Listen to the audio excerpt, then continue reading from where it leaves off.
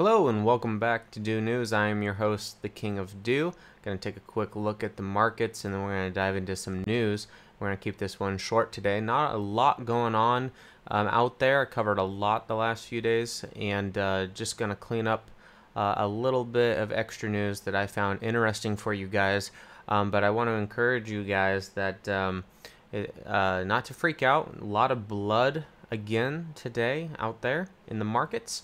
Uh, Bitcoin's down about three and a half right now, but Ethereum is actually making quite the rally just in the last few minutes, actually.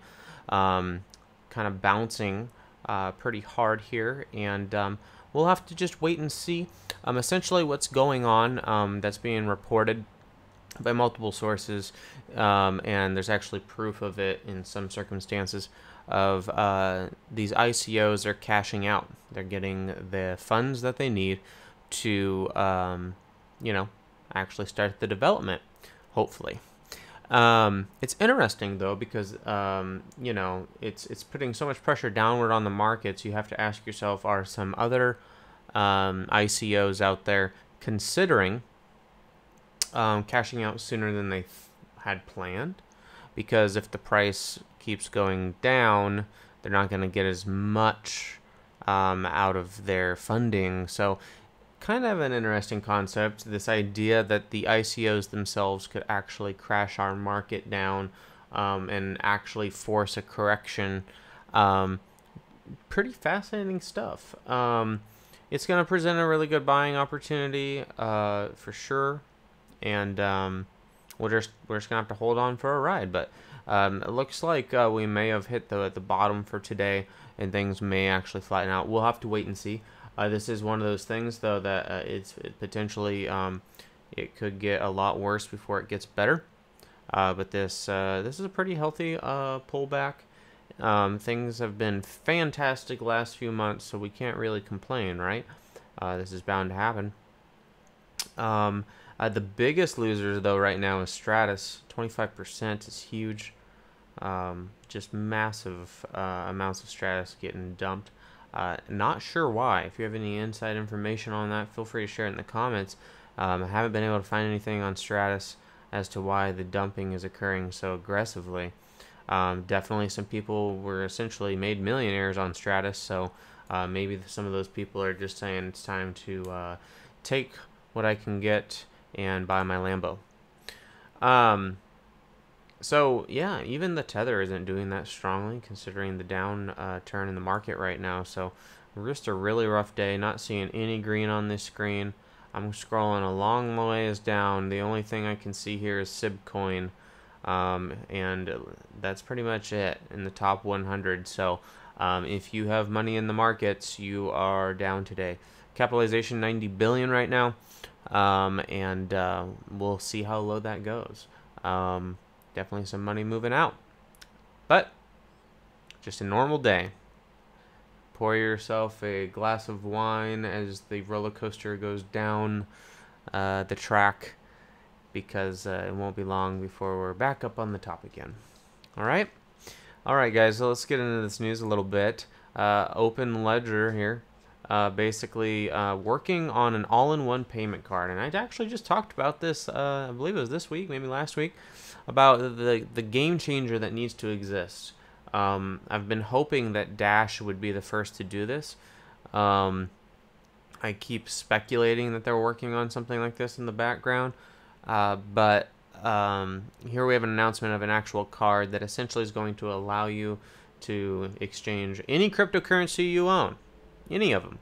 That's their goal, is that all the cryptocurrencies can essentially exchange through their particular uh, coin, and um, yeah, you should be able to just spend your money at will anywhere in the world. Um, your money can freely flow in and out um, through the card, so it's really cool.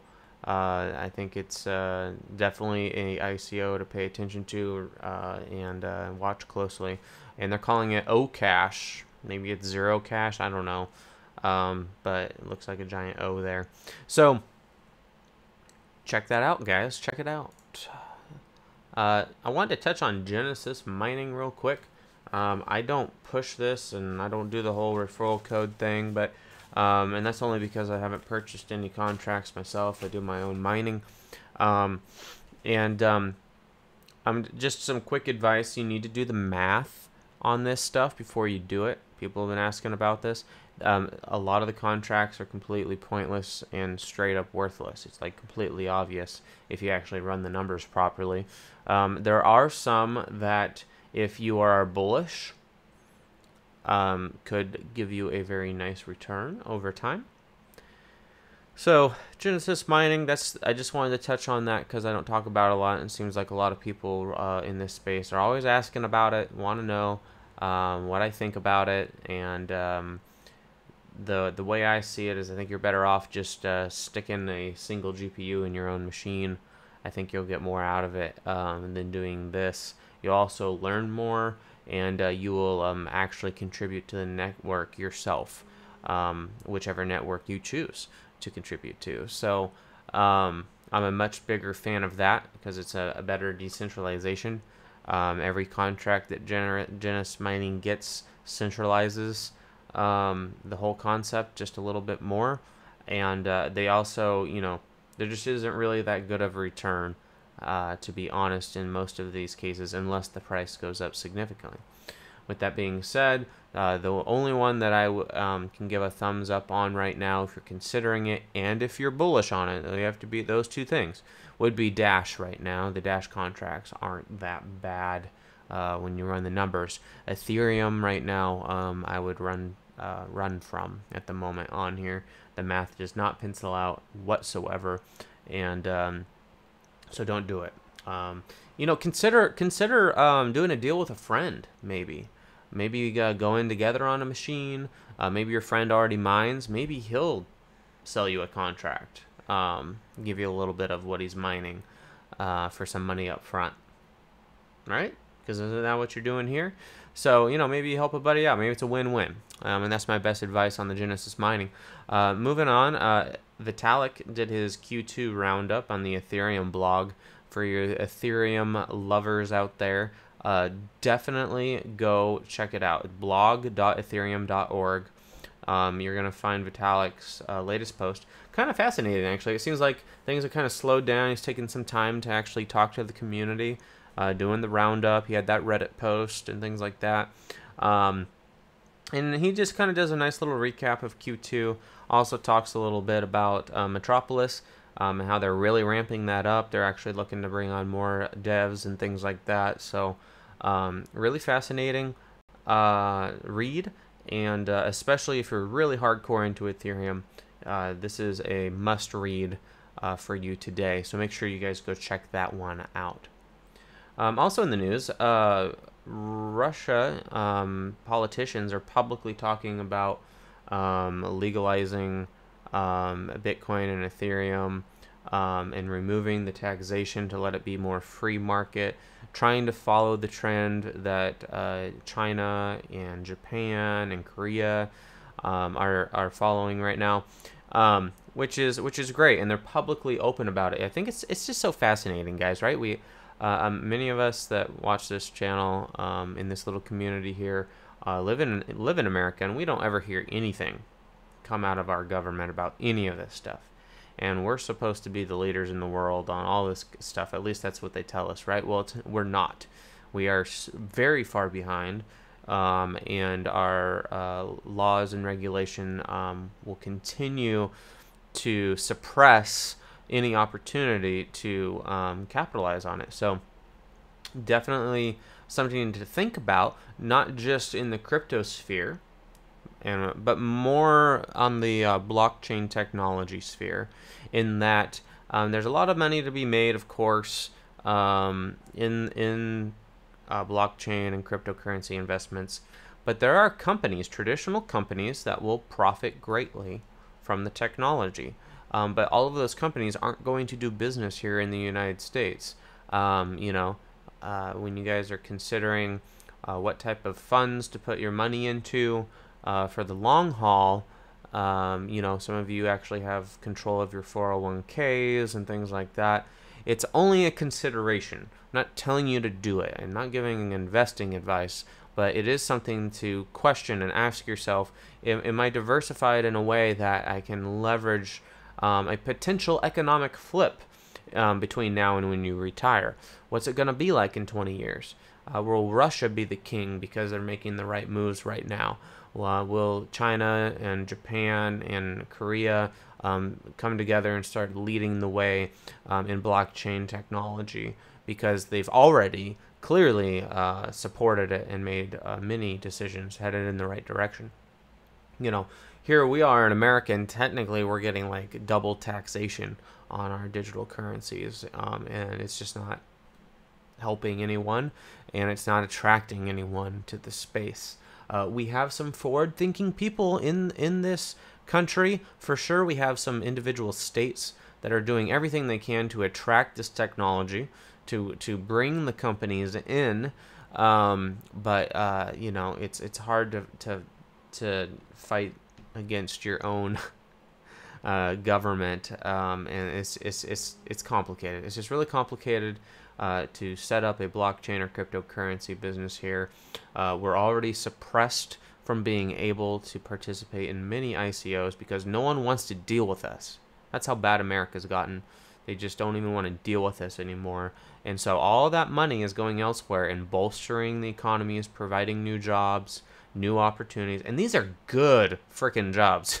Let me make sure that's clear. This is not, um, you know, uh, you know, a, a, uh, a, a marketing associate job out of college or a um, graphic design job out of college. Like, this is like top notch jobs, right? That are going to be created and are being created in this space. And they are all leaving our country. They are not coming here. Um, you know, I've, I've questioned whether I would leave the country for that opportunity myself if that type of uh, opportunity came along. And um, just because it's not going to happen here anytime soon. It's not like I'm going to wake up one day and have it. The only way I'll wake up and have an opportunity like that is a decentralized organization that I can join, right? Um, and contribute that way. Um, but at the end of the day, it's going to be hard if I want to take advantage of maybe like a company that's that's using blockchain technology. Like LuxTag is a great example where um, you know they have a huge solution that actually applies to my industry uh, in in anti counterfeit using blockchain, actually on the NEM platform, actually, um, and you know that would that's the kind of opportunity that'd be very very interesting and make sense for me. Um, but it's definitely something where um, I'd have to pack my bags and leave the country if I want to work for a company, because a company like that isn't going to set up shop here. Um, if I'm not going to do a blanket blanket statement and say that it won't happen. There'll definitely be some companies. It's just you know uh, the number of opportunities are so limited. It's much more likely to happen where I may have to leave the country if that's actually what I want to pursue. But hopefully, hopefully uh, a decentralized uh, opportunity comes along because I'd love to continue to do what I do professionally and um, have the opportunity to contribute to a decentralized organization as well on the side. So, uh, so moving on, just a fun, fun little ICO. I like fun little ICO sometimes, guys. Uh, simple ICOs like this. We got ICO.trueflip.io here, and it's a crowd sale, and essentially it's just a lottery, straight up.